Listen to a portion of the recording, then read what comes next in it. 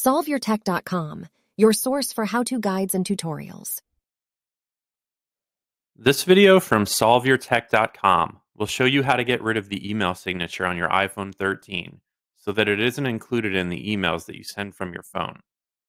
So let's jump into our video about how to delete iPhone 13 email signature. Be sure to like this video and subscribe to our channel to see more tech guides like this one.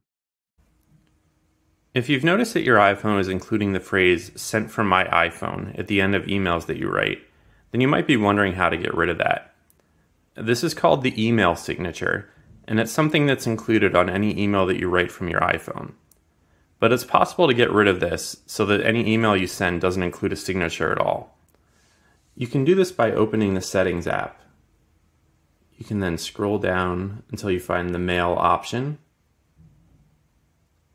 You can then scroll to the bottom of this menu and choose the Signature option. Then you can tap inside the field that shows the current signature and just delete it. Now if you tap Mail at the top left of the screen, you'll return to the Mail menu and you'll see that the signature is now gone. Make sure to like this video and subscribe to our channel to see more tech guides like this one. For additional information on this topic and to read the entire article, click the link in the description to visit solveyourtech.com.